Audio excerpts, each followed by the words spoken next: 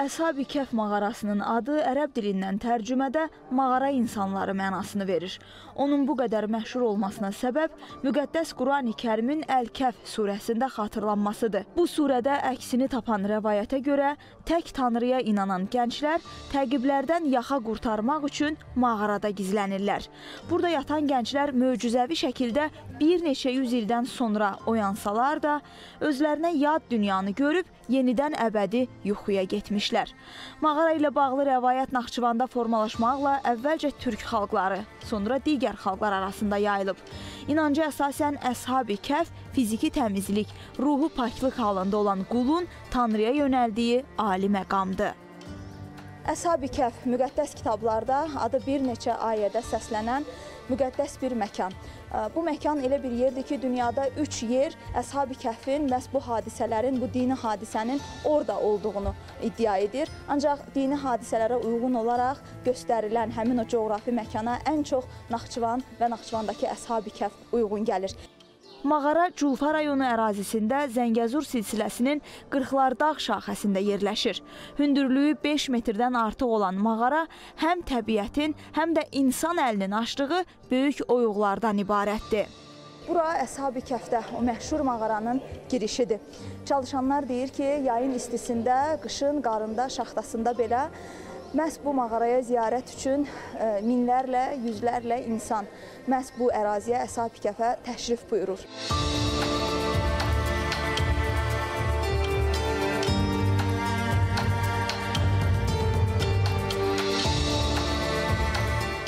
İnanc yerli əhali inancı bura çox böyükdür. Həmçinin də qonşu ölkələrdən, Türkiyə, İrandan bura ilin bütün fəsillərində gələnlər müşahidə olunur. Bildiyiniz kimi Əshab-ı Kəhf Culfa rayonunda yerləşir. Yuxarıda gördüyünüz mağara inancı inanclı insanlar otururlar orada. Arzu tutdular, əgər oradan damcı başlarına düşürsə, bu onların arzusunun qəbul olduğu mənasına gəlir. Təbii ki, inanclar fərqlidir. Bəzi insanlar buna nə qədər doğru olduğunu bilmirlər, amma bəzi insanlar da buna çox inanırlar. Əshab-ı Kəhf eyni zamanda Azərbaycanın ən böyük piridir.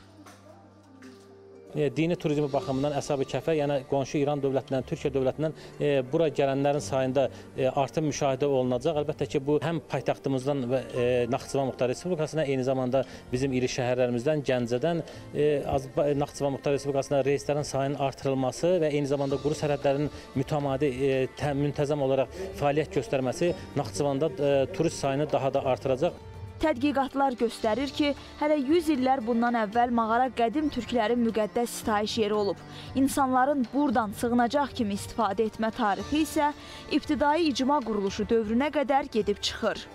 Mən illərdir bura nə niyyət eləyib, qurban demişəmsə Allah Taala tərəfindən qəbul olunub.